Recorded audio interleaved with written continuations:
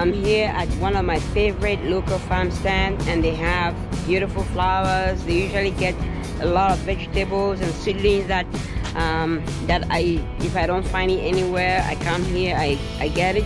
Just want to get uh, do a quick tour show you guys what they have some of the beautiful flowers they have.